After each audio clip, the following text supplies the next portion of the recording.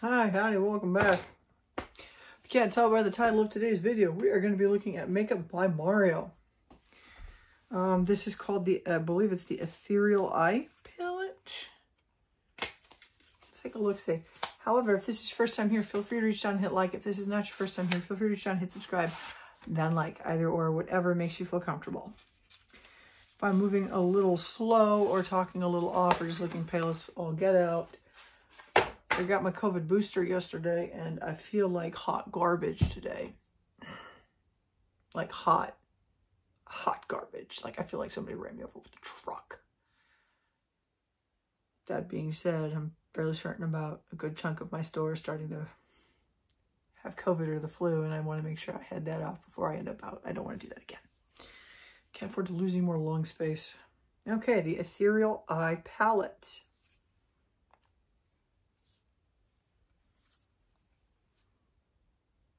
She's pretty. She's also a lot lighter toned than I thought she would be based upon the Sephora images. Now, according to the back of this box, these are only denoted by EE1, EE2 as the color names. There is no individualized color names. They're just serial numbered. This has got a leaping bunny on the back, which means, where's my box? How did I lose my box? Oh God, I lost my box. It's just, just here. There we are. It's got a leaping bunny on it. Um, that's all it says. So it's, it's, it's cruelty free. It's animal friendly good to know. I'm not going to lie. I'm a little curious about this palette. I saw it. I purchased it for the Sephora. Say, oh, wow. That is actually much softer than I've ever thought. Never purchased any of Mario's stuff before, honestly. Let's swatch our way across it. Let's see how this goes. Still trying to decide if I'm going to go to work tomorrow. I feel gross. I have had a migraine since I woke up and every muscle in my body hurts. Okay, I was not expecting that good of a color on that swipe. I'll run with that. Okay, she's a little bit more pigmented than I was expecting. Good for her. Good for her. Let's get out the wipes. In case you're curious, I use the Neutrogena makeup wipes. Now, these are now plant-based and compostable so they will not sit in the dump indefinitely. In fact, I home compost and I will be testing these out in my home composting setup here real soon to see how they do. I'm not going to lie. I will purposely look for stuff that is said to be compostable just so I can try it out in my composter. Okay, so that is our first top row. Okay, I'm loving the glitter. It looks more like a topper shade than anything else. Let's do second row. The glitter's surprisingly soft too. Okay, that's not a matte. That's more of a, it's not a metallic either. Okay, we'll see how this goes.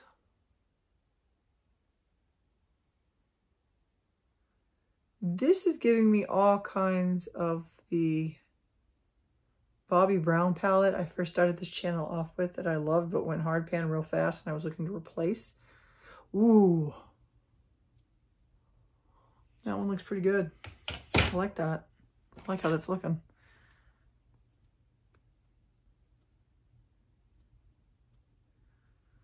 Like I have work tomorrow and I'm starting to think I'm not going to work tomorrow. Anybody knows me knows I don't miss work. I've legit been working six days a week for like a month and a half now. I am soaking up any and all overtime I can get before the end of this year hits. I'm trying to max out what I can get money-wise. Christmas is coming, bills exist, that kind of deal. This is the last row. Like I said, the images I saw on Sephora's website showed this palette as a lot darker than what she's looking like in person. However, the pigmentation is rocking out pretty darn good. I'm liking the way that one looks. Ooh. The mattes are coming out much more pigmented than I was giving it credit for being, I'm not to lie. You guys had the booster lately? We have been warned it's supposed to be a pretty bad COVID year this year. I don't think they were anticipating the flu to be as bad as it was. My store, I've had several people go out with the flu that I know of, and a lot more that ended up out with COVID than anybody wants to admit. Not looking forward to that. Okay, I'm not gonna lie. I am super attracted to this middle row. This bottom row, like the colors I'm getting off of it, like this one specifically, I love, but it's it's definitely the middle row that's getting my attention. This really does remind me of the Bobbi's All Matte palette that I started with. We're gonna start off with that middle row. Kind of want to see how this one goes and that one, and we will go from there. To take a look, in case you're curious, I've already prepped my eyes with Too Faced Shadow Insurance, so we're to work off of that. Where's tap plan? There we go. Let's tap that beast.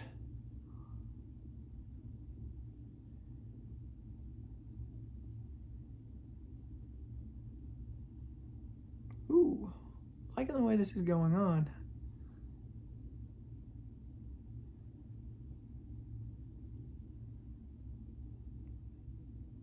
Subtle yet pretty. Okay, I know she's pigmented,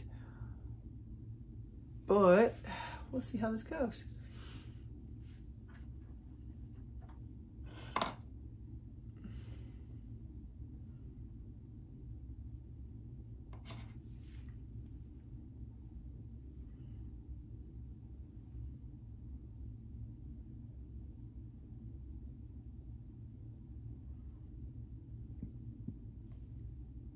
Okay.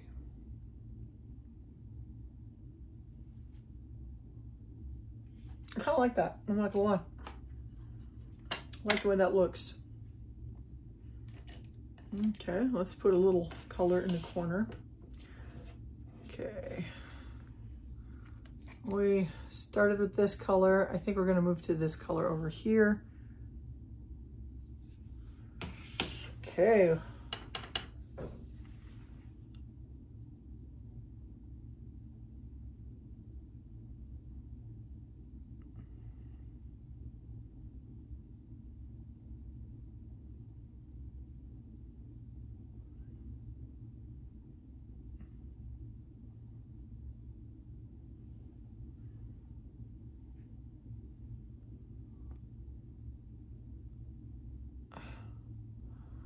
This is one of those things I hate right there. You see that? Those, those little...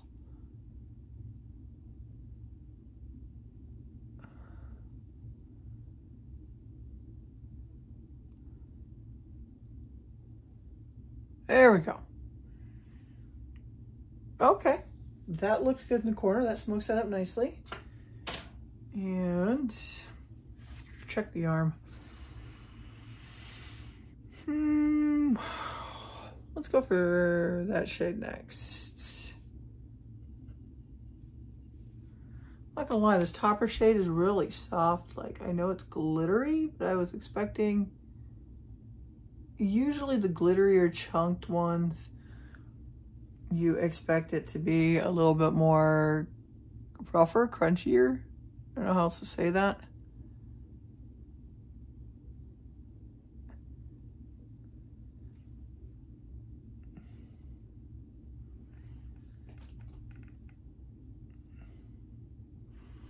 Okay, I can see me lining this too. Like with an actual eyeliner, probably dark brown.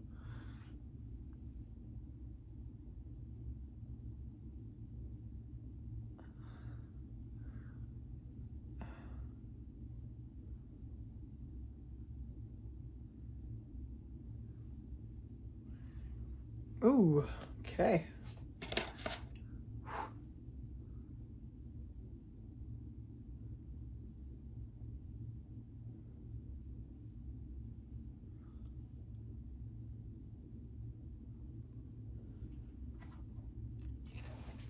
Don't know how to feel about this, honestly. Like, I'm liking the sparkle, and it doesn't seem to be Okay, we're getting some fallout down and around here. The glitter shade. It's to be expected. Not gonna lie, it's to be expected. I like this as a basics palette. This is really pretty. Like I was not, like I said, the original photos I saw did not show it as this, like it showed it darker, I guess you'd say. I was not expecting it to be also light colored. Let's try the other eye in the pink instead. Like the cute little pink and try a different approach.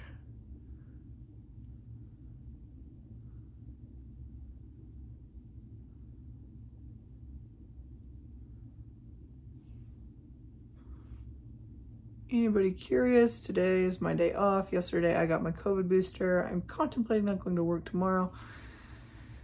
Honestly, I feel like crap. I woke up feeling like everything was hit. Like I had been just body checked by somebody in a shopping cart or a garbage truck ran over me. My husband has got the kids in what we call quiet time, which is nap time. And honestly, I was torn between doing this and going and taking another nap. I woke up I've already had one nap for the day and I'm thinking really strongly of another nap. Oh. I got my hair cut yesterday and the thought of just doing my hair or anything with my hair feels like way too much work. Like I crawled out of bed thinking, oh dear God. I know that's probably not the way to address it, but dang. Like you kind of forget in between boosters how rough the COVID booster is. This time she is just She's like a kick in the teeth, I'm not gonna lie. No, I don't, didn't mean to grab for that brush. We're just gonna, gonna do this one. The pink, I like the way this pink came out. Let's do a light brown in the corner.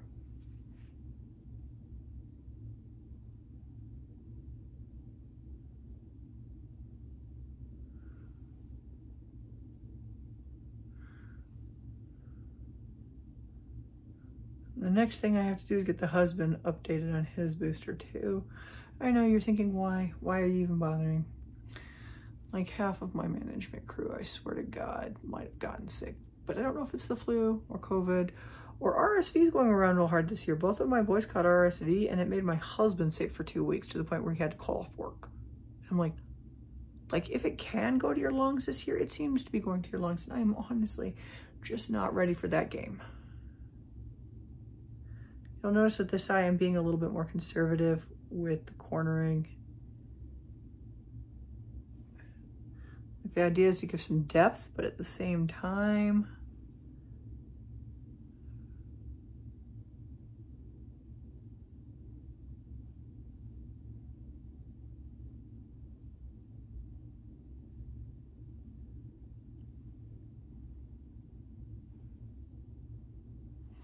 definitely see doing this in a light brown as my eyeliner.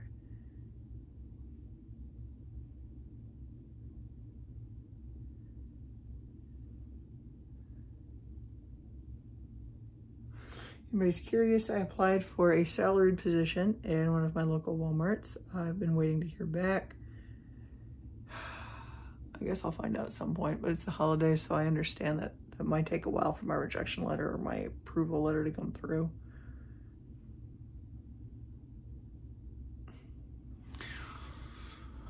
Okay, this is the purplier color. Okay, that is the pink, and I used this brown in the corner to darken it up just a touch. I used this on the other lid with this to darken up the corner, and I used a tapered blending brush. What? Uh, some days I enjoy the tapered, some days I go for a little bit more controlled. Now, it's really pretty. Let's just see for grins and giggles. Based upon the arm, bum, bum, bum, bum, bum, bum. We're gonna try this one. It's more of a metallic on this eyelid. Just to see how this is gonna work out.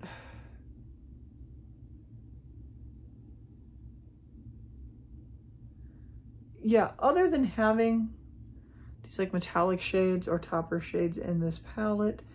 This is giving me the strong, like this, I'm getting the same feelings from this palette I got from the Bobbi Brown Mattes palette.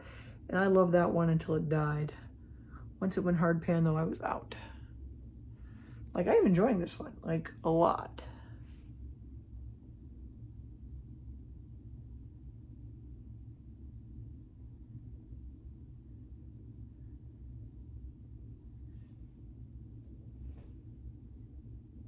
Ooh, like that. I like that a lot. Okay. Let's just wipe that off my finger. Let's take a slightly different view of it. I am getting some glitter fallout through here. Like not too bad though. Let's see. So not too bad, no. Most of that color's from my finger. Don't don't listen to it. Let's try the other eye. Okay, guys, it being the Christmas season, I'm certain half of you guys shop at some form of retailer, be it Target or Walmart or Meijers or whatever. This is just a reminder, guys. Be patient with the people that work there. They're trying their best.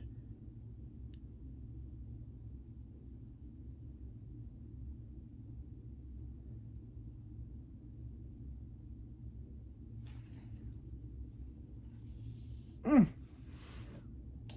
I've never tried any of the makeup by Mario. This is my first time with this brand. I am going to say I am pleasantly surprised, especially by this eye. This one is good too. Like this is giving me the first couple videos, the first couple weeks when I had this channel, I was looking for a replacement for my Bobbi Brown mattes.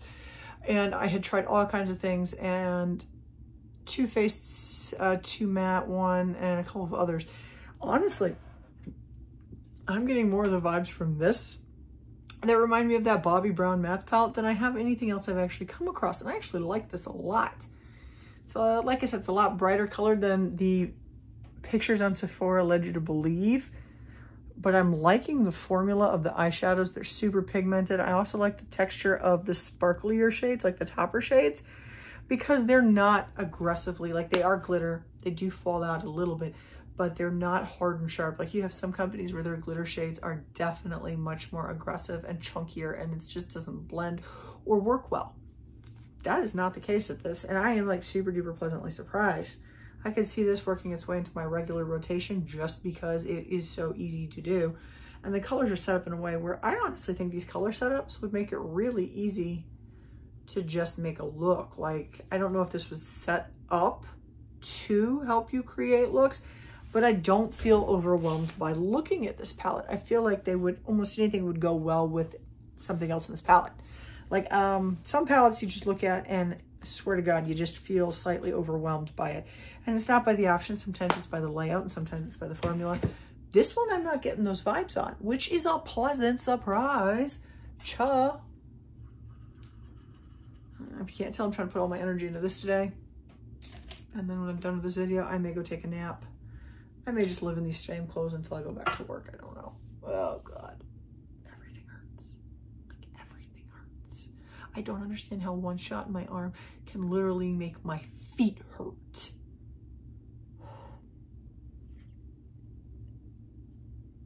Whatever. Whatever. I refuse to bring home COVID to the family again. Work. Anyway, has anybody else tried this Makeup by Mario palette? The Ethereal Eye palette?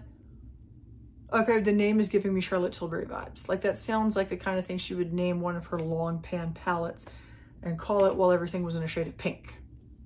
I like the fact that not everything is in a shade of pink, but I do like the fact that you got a purple base and a pink base in here. And honestly, this color in the corner, I would kind of like to compare it to a Tom Ford one from the Cocoa Mirage because it had a very distinctive red one in the corner that was just beautiful. And a lot of people purchased the entire quad just for that one shade. And I could see that being a competitor to it. I'd love to actually sit down and try to find and make some dupes to that one shade, which I know was just a stunner for Tom Ford. And honestly, it's the whole reason I own that quad in the first place. Okay, guys, leave me some comments down below. Let me know what you thought of this palette. Let me know if you find this, does this palette give you the feels of any other palette? Like, this makes me think of just that Bobbi Brown palette. And I know Bobbi that Bobbi Brown palette was all mattes. And this has only got three, four, five, six, seven mattes. But seven mattes is still pretty darn good for one of these palettes. And then these are actually pretty darn good quality. So leave some comments down below. Let me know what you think. I'm really super interested. Um, guys, it's going to be a rough flu, COVID, and cold season. Get your boosters, get your vaccinations. I know looking at me does not make you inspired to do that. But trust me, there are worse things you can do, like being out of work for a week to two weeks sick without pay. So think about it, contemplate it. If you don't want to, it's up to you entirely. I'm just saying, money's money, guys. Thanks. Have a nice night. Leave some comments.